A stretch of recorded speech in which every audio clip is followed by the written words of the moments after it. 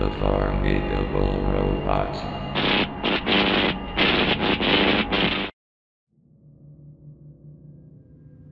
Back in the 80s and 90s, people started growing on the whole idea of public access, meaning that anything could be on TV. It doesn't matter what it could be, as long as it airs on TV. One of these shows was a cryptic and disturbing news show called Good Night USA, a mockumentary ABC NBC parody news show that followed a news anchor, a newswoman, and even a weather guy. Facts. I'll try my best to explain each character and their quirks in the show. The news anchor, Jonathan Prince, is your average good looking yet disheveled looking news anchor who runs the operation. He's described as being uncomfortable to listen and look at, he has noticeably bulging eyes, and a very menacing glare. He speaks in a fancy, sophisticated tone, along with having a slight evil edge with some points. The quirks he brings in the show is often interacting with the other news people, and often joining with the cameraman in segments called What's at Night in the US. Jonathan's assistant and newswoman, Jennifer Lansewell, is an interesting woman.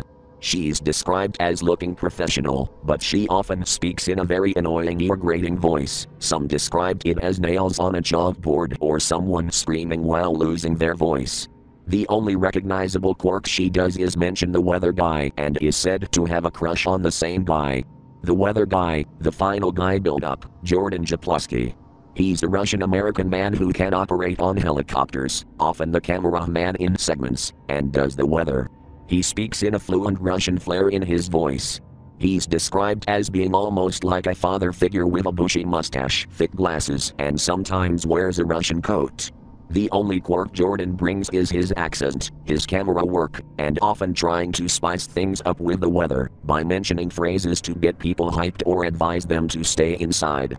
The pilot aired on June 20, 1984, on WXFT 23 outside of Ohio, Florida, Canada, and in some corners of Michigan. The pilot starts with news music before it slowly fades to the two. Good evening or night, and welcome to your new addiction. Your new news channel, it's Good Night USA, the channel that brings you nightly news. Our top story, a local man won $50,000 before ended up getting cancer. That's something new. What a shame. Let's go to Jordan with the weather. Jordan. We've got big storms coming to Battle Creek, and the big The screen cuts to black abruptly, before cutting to a forest with the camera crew going up to people. It seems normal, but at the end, each time they finish, they'd stab, full on knife plunged deep. The entire segment was nothing but the news people walking up to other people, getting their word, stab, repeat.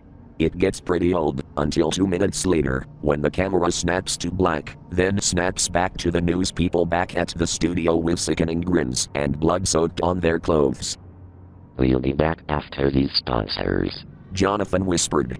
The screen cut to black and played commercials. Jesus Christ on a bicycle. Upon returning, it showed Jennifer on the seat. On the next bit of news, we've got word that our sponsor CEO died due to cancer. Then she started laughing. The others joined along.